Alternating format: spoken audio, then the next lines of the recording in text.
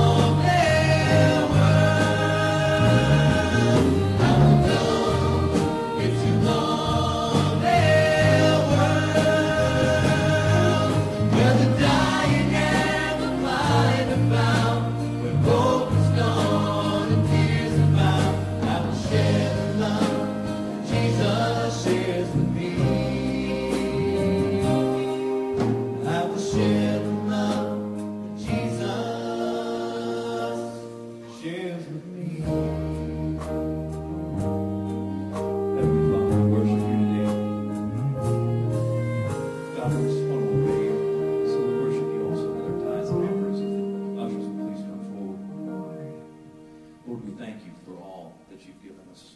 And we just ask, Lord, that you, you take what we give back to you, Father, all that you ask of us.